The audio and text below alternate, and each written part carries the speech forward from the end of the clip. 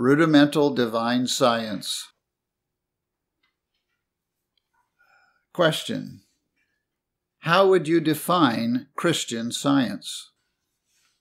Answer As the law of God, the law of good, interpreting and demonstrating the divine principle and rule of universal harmony.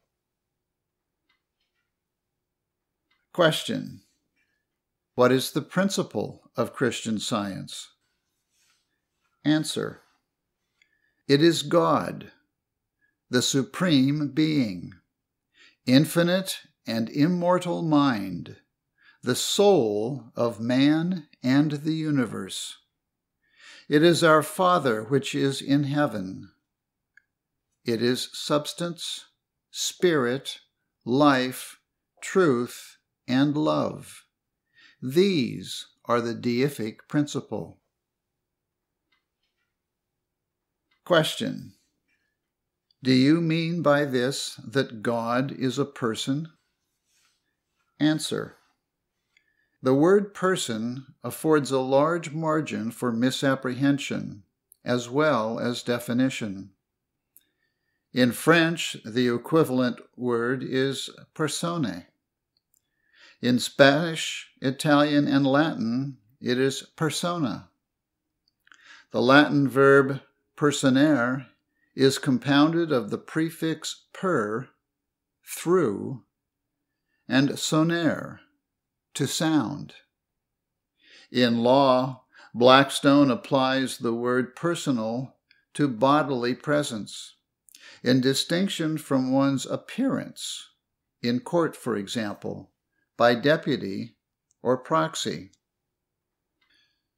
Other definitions of person as given by Webster, are a living soul, a self conscious being, a moral agent, especially a living human being, a corporeal man, woman, or child, an individual of the human race.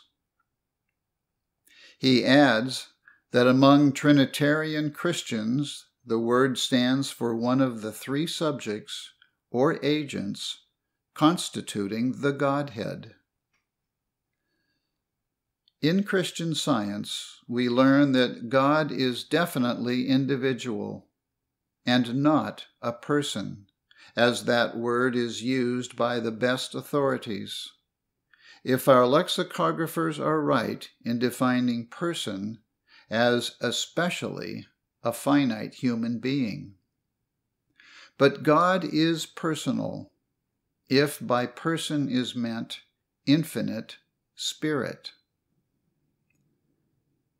We do not conceive rightly of God if we think of him as less than infinite. The human person is finite, and therefore I prefer to retain the proper sense of deity by using the phrase an individual God rather than a personal God. For there is and can be but one infinite individual spirit, whom mortals have named God. Science defines the individuality of God as supreme good, life, truth, love. This term enlarges our sense of deity, takes away the trammels assigned to God by finite thought, and introduces us to higher definitions.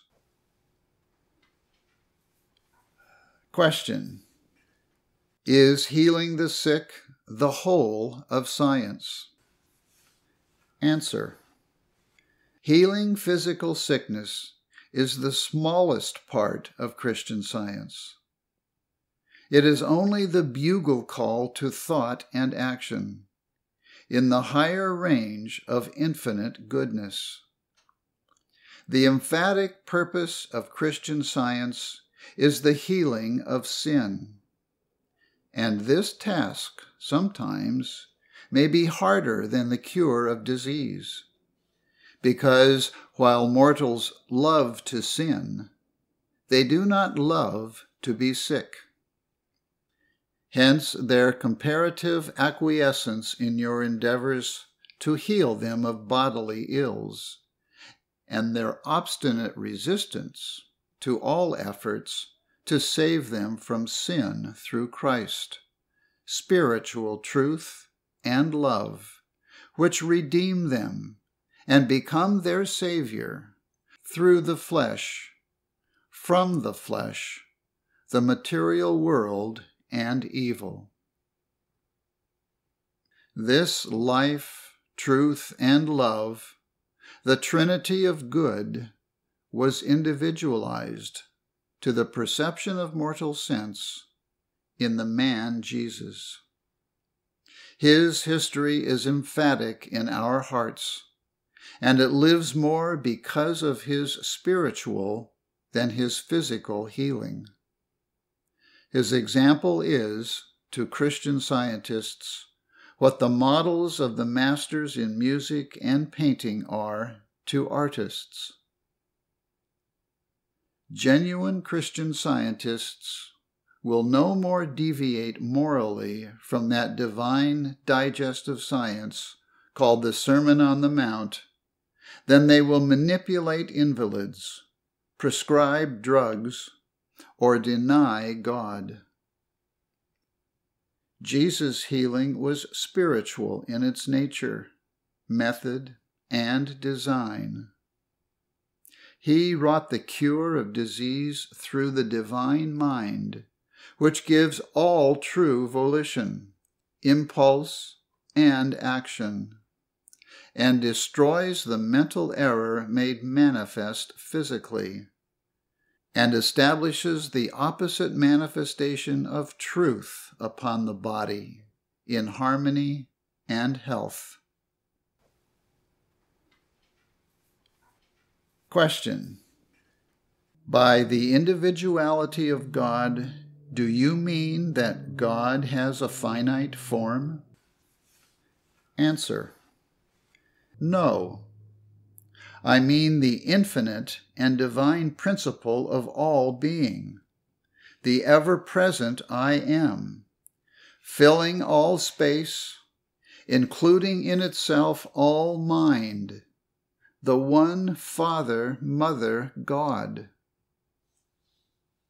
Life, truth, and love are this Trinity in unity, and their universe is spiritual, peopled with perfect beings, harmonious and eternal, of which our material universe and men are the counterfeits. Question Is God the principle of all science, or only of divine or Christian science? Answer Science is mind manifested. It is not material, neither is it of human origin. All true science represents a moral and spiritual force which holds the earth in its orbit. This force is spirit that can bind the sweet influences of the Pleiades and loose the bands of Orion. There is no material science, if by that term you mean material intelligence. God is infinite mind Hence there is no other mind. Good is mind, but evil is not mind. Good is not in evil, but in God only. Spirit is not in matter, but in spirit only. Law is not in matter, but in mind only. Question Is there no matter? Answer All is mind. According to the scriptures and Christian science, all is God, and there is naught beside him. God is Spirit, and we can only learn and love him through his Spirit, which brings out the fruits of Spirit and extinguishes forever the works of darkness by his marvelous light. The five material senses testify to the existence of matter. The spiritual senses afford no such evidence, but deny the testimony of the material senses. Which testimony is correct? The Bible says, Let God be true, and every man a liar. If, as the scriptures imply, God is all in all, then all must be mind, since God is mind. Therefore, in divine science, there is no material mortal man, for man is spiritual and eternal, he being made in the image of Spirit, or God there is no material sense. Matter is inert, inanimate, and sensationless, considered apart from mind. Lives there a man who has ever found soul in the body or in matter? Who has ever seen spiritual substance with the eye? Who has found sight in matter, hearing in the material ear, or intelligence in non intelligence? If there is any such thing as matter, it must be either mind which is called matter, or matter without mind. Matter without mind is a moral impossibility. Mind in matter is pantheism. Soul is the only real consciousness which cognizes being. The body does not see, hear, smell, or taste. Human belief says that it does. But destroy this belief of seeing with the eye, and we could not see materially. And so it is with each of the physical senses. Accepting the verdict of these material senses, we should believe man and the universe to be the football of chance and sinking into oblivion. Destroy the five senses as organized matter and you must either become non existent or exist in mind only. And this latter conclusion is the simple solution of the problem of being, and leads to the equal inference that there is no matter. Question the sweet sounds and glories of earth and sky, assuming manifold forms and colors, are they not tangible and material? Answer. As mind, they are real, but not as matter. All beauty and goodness are in and of mind, emanating from God but when we change the nature of beauty and goodness from mind to matter, the beauty is marred through a false conception, and to the material senses, evil takes the place of good. Has not the truth in Christian science met a response from Professor S. P. Langley, the young American astronomer he says that color is in us, not in the rose, And he adds that this is not any metaphysical subtlety, but a fact almost universally accepted within the last few years by physicists. Question Is not the basis of mind healing a destruction of the evidence of the material senses and restoration of the true evidence of spiritual sense? Answer It is, so far as you perceive and understand this predicate and postulate of mind healing.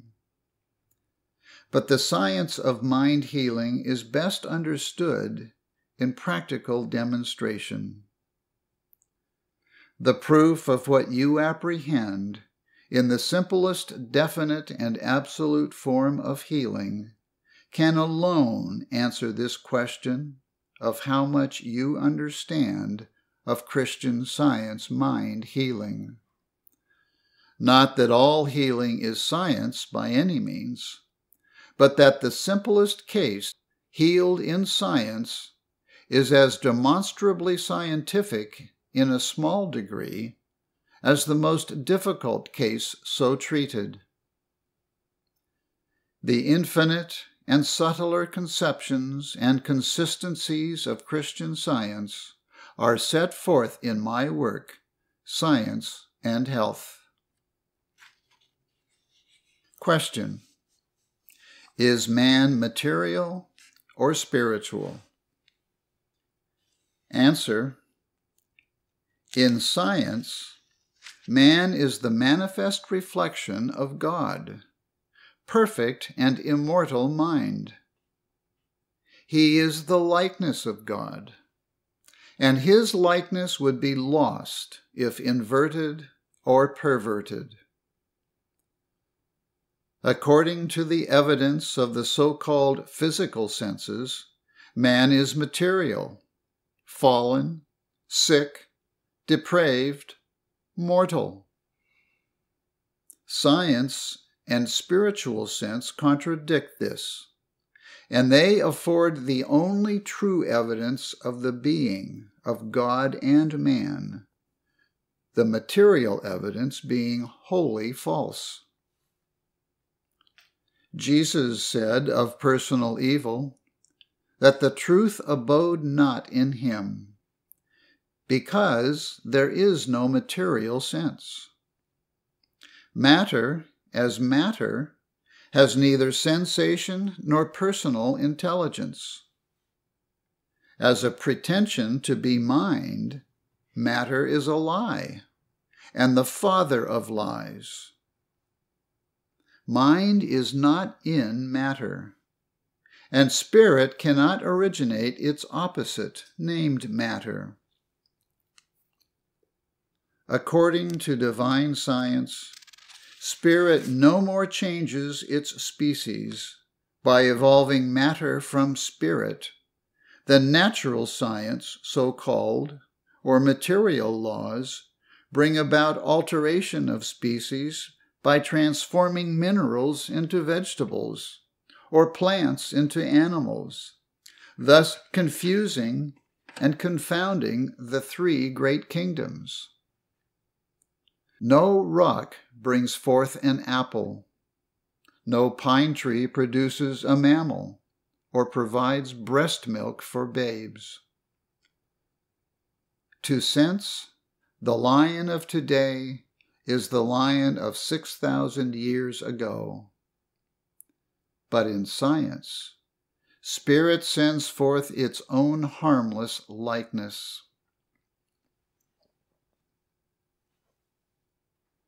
Question How should I undertake to demonstrate Christian science in healing the sick?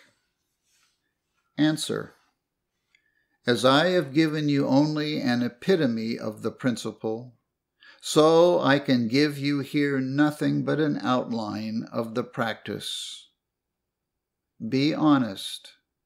Be true to thyself and true to others. Then it follows thou wilt be strong in God, the eternal good. heal through truth and love. There is no other healer.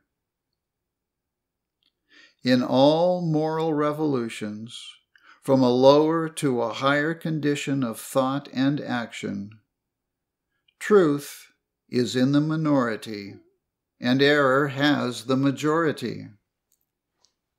It is not otherwise in the field of mind healing. The man who calls himself a Christian scientist, yet is false to God and man, is also uttering falsehood about good. This falsity shuts against him the truth and the principle of science, but opens a way whereby, through willpower, sense may say the unchristian practitioner can heal.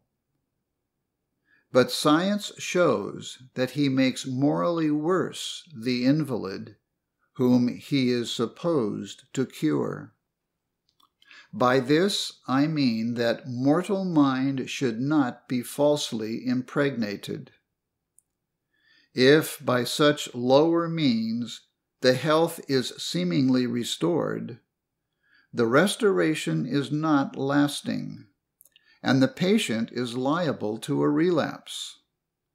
Quote, the last state of that man is worse than the first. The teacher of mind healing, who is not a Christian, in the highest sense, is constantly sowing the seeds of discord and disease. Even the truth he speaks is more or less blended with error. And this error will spring up in the mind of his pupil. The pupil's imperfect knowledge will lead to weakness in practice, and he will be a poor practitioner, if not a malpractitioner. The basis of malpractice is an erring human will. And this will is an outcome of what I call mortal mind, a false and temporal sense of truth, life, and love. To heal in Christian science is to base your practice on immortal mind, the divine principle of man's being and this requires a preparation of the heart and an answer of the lips from the Lord. The science of healing is the truth of healing. If one is untruthful, his mental state weighs against his healing power. And similar effects come from pride, envy, lust, and all fleshly vices.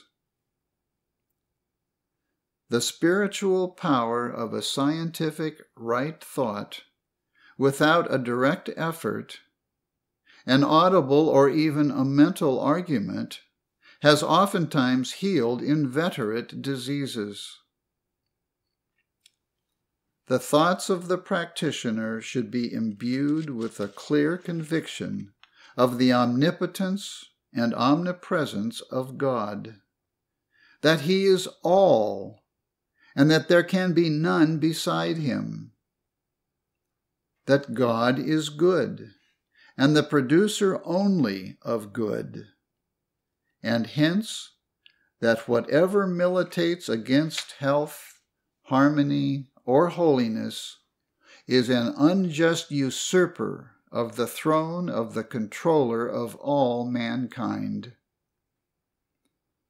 Note this that if you have power in error, you forfeit the power that truth bestows and its salutary influence on yourself and others.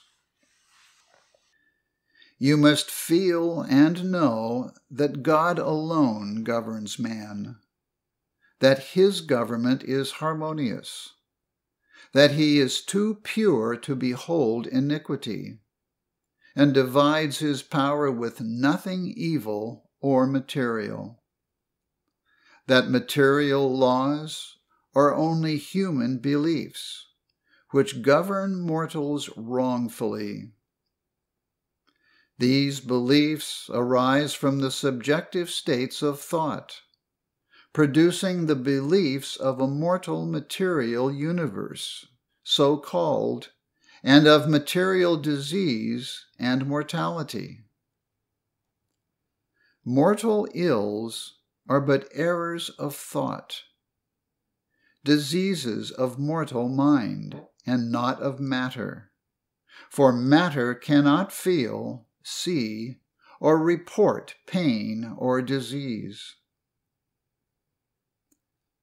Disease is a thing of thought manifested on the body and fear is the procurator of the thought which causes sickness and suffering.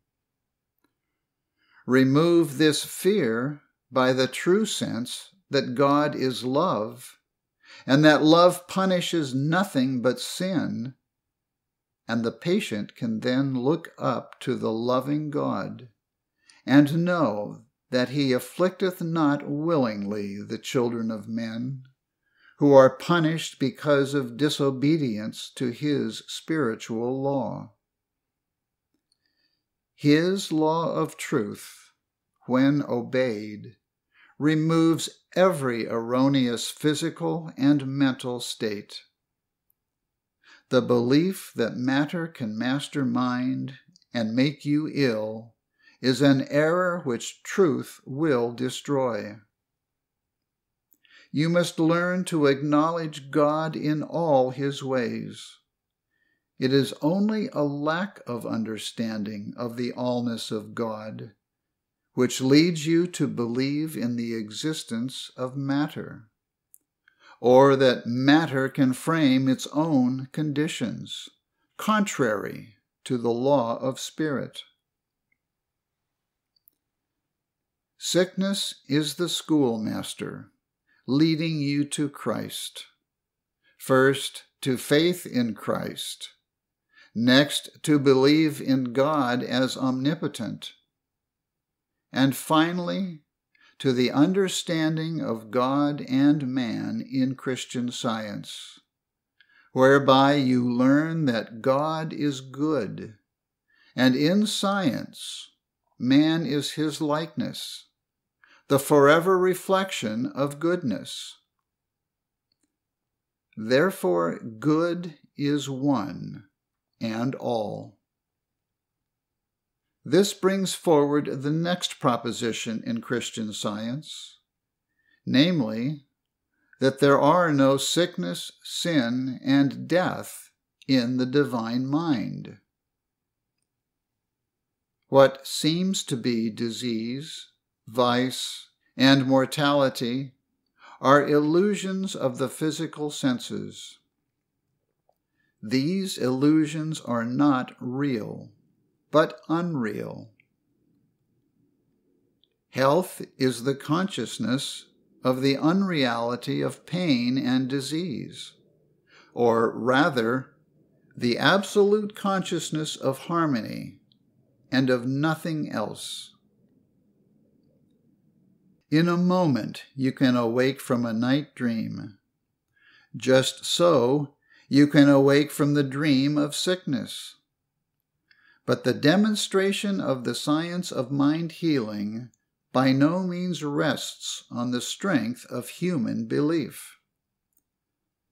This demonstration is based on a true understanding of God and divine science which takes away every human belief. And through the illumination of spiritual understanding, reveals the all power and ever presence of good, whence emanate health, harmony, and life eternal. The lecturer, teacher, or healer who is indeed a Christian scientist never introduces the subject of human anatomy, never depicts the muscular, vascular, or nervous operations of the human frame. He never talks about the structure of the material body. He never lays his hands on the patient, nor manipulates the parts of the body supposed to be ailing. Above all, he keeps unbroken the Ten Commandments and practices Christ's Sermon on the Mount. Wrong thoughts and methods strengthen the sense of disease instead of cure it, or else quiet the fear of the sick on false grounds, encouraging them in the belief of error until they hold stronger than before the belief that they are first made sick by matter and then restored through its agency. This fosters infidelity and is mental quackery that denies the principle of mind healing. If the sick are aided in this mistaken fashion, their ailments will return and be more stubborn because the relief is unchristian and unscientific. Christian science erases from the minds of invalids their mistaken belief that they live in or because of matter, or that a so called material organism controls the health or existence of mankind, and induces rest in God, divine love, as caring for all the conditions requisite for the well being of man. As power divine is the healer, why should mortals concern themselves with the chemistry of food? Jesus said, Take no thought what ye shall eat.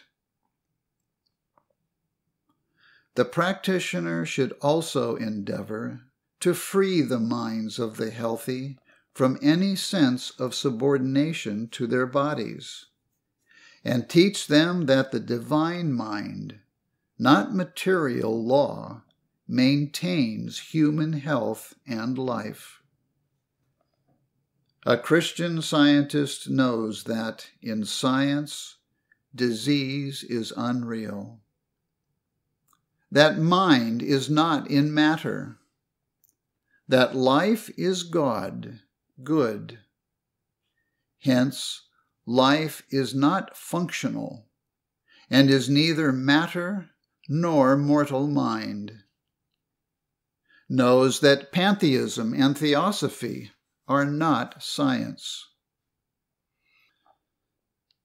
Whatever saps with human belief this basis of Christian science, renders it impossible to demonstrate the principle of this science, even in the smallest degree.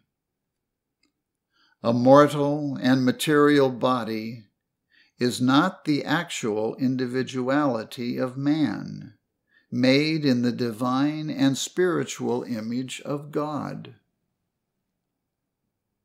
The material body is not the likeness of spirit. Hence, it is not the truth of being, but the likeness of error. The human belief which saith there is more than one God, there is more than one life, and one mind. In Deuteronomy chapter 4, verse 35, we read, the Lord, He is God. There is none else beside Him. In John chapter 4, verse 24, we may read, God is Spirit. These propositions, understood in their science, elucidate my meaning. When treating a patient, it is not science to treat every organ in the body. to aver that harmony is the real and discord is the unreal, and then give special attention to what, according to their own belief, is diseased, is scientific. And if the healer realizes the truth, it will free his patient. Question what are the means and methods of trustworthy Christian scientists? Answer. These people should not be expected, more than others, to give all their time to Christian science work, receiving no wages in return, but left to be fed, clothed, and sheltered by charity. Neither can they serve two masters giving only a portion of their time to God, and still be Christian scientists. They must give him all their services and owe no man. To do this, they must at present ask a suitable price for their services, and then conscientiously earn their wages, strictly practicing divine science and healing the sick. The author never sought charitable support, but gave fully seven eighths of her time without remuneration, except the bliss of doing good. The only pay taken for her labors was from classes, and often those were put off for months in order to do gratuitous work. She has never taught a primary class without several, and sometimes 17, free students in it, and has endeavored to take the full price of tuition only from those who were able to pay. The student who pays must of necessity do better than he who does not pay, and yet will expect and require others to pay him. No discount on tuition was made on higher classes because their first classes furnished students with the means of paying for their tuition in the higher instruction and of doing charity work besides. If the primary students are still impecunious, it is their own fault. And this ill success of itself leaves them unprepared to enter higher classes. People are being healed by means of my instructions, both in and out of class. Many students who have passed through a regular course of instruction from me have been invalids and were healed in the class. But experience has shown that this defrauds the scholar, though it heals the sick. It is seldom that a student, if healed in a class, has left it understanding sufficiently the science of healing to immediately enter upon its practice. Why? Because the glad surprise of suddenly regained health is a shock to the mind and this holds and satisfies the thought with exuberant joy. This renders the mind less inquisitive, plastic, and tractable. And deep systematic thinking is impracticable until this impulse subsides. This was the principal reason for advising diseased people not to enter a class. Few were taken besides invalids for students until there were enough practitioners to fill in the best possible manner the department of healing. Teaching and healing should have separate departments, and these should be fortified on all sides with suitable and thorough guardianship and grace. Only a very limited number of students can advantageously enter a class, grapple with this subject, and well assimilate what has been taught them. It is impossible to teach thorough Christian science to promiscuous and large assemblies, or to persons who cannot be addressed individually, so that the mind of the pupil may be dissected more critically than the body of a subject laid bare for anatomical examination. Public lectures cannot be such lessons in Christian science as are required to empty and to fill anew the individual mind. If publicity and material control are the motives for teaching, then public lectures can take the place of private lessons. But the former can never give a thorough knowledge of Christian science. And a Christian scientist will never undertake to fit students for practice by such means. Lectures in public are needed, but they must be subordinate to thorough class instruction in any branch of education.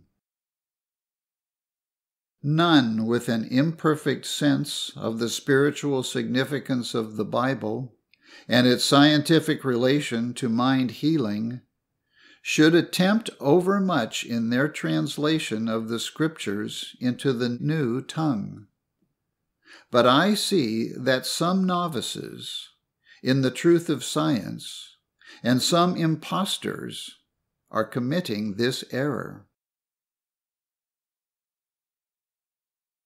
Question Is there more than one school of scientific healing? Answer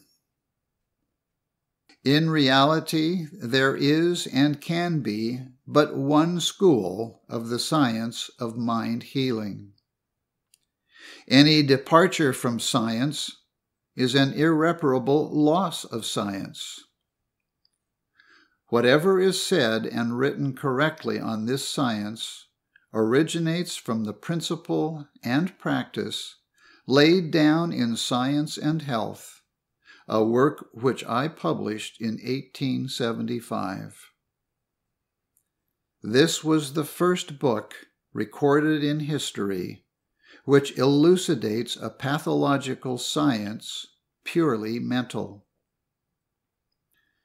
Minor shades of difference in mind healing have originated with certain opposing factions, springing up among unchristian students who, fusing with a class of aspirants which snatch at whatever is progressive, call it their first fruits or else post mortem evidence.